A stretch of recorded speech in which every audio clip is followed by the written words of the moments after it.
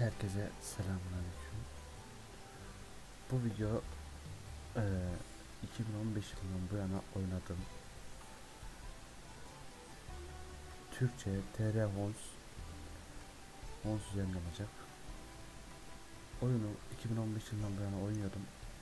Kapalı betadan beri. Fakat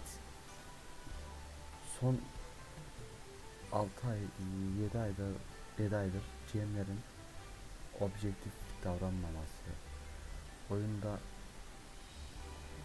belli bir kriteri yakalayamaması, dalga geçer gibi garip garip hediye dağıtmaları,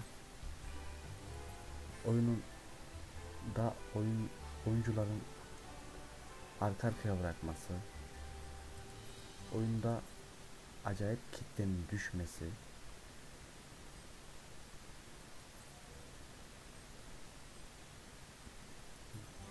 bunları sayabiliriz. Artı oyunda zevk anlamaması gibi.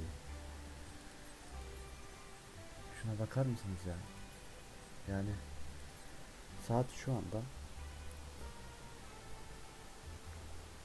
şu anda 11.16 bu saatte bomboş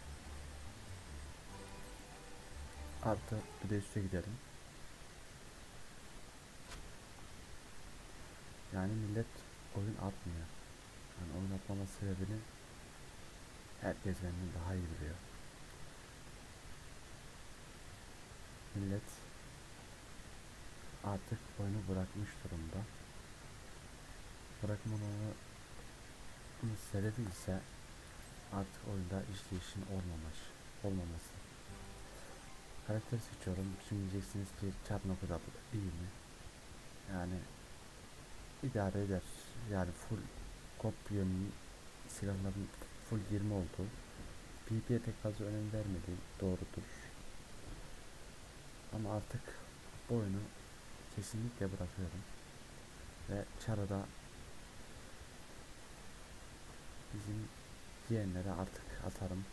Onlar oynar. Evet kaldıralım biz bunu oyundan çık. Yeter artık yani gider Japon server oynarım.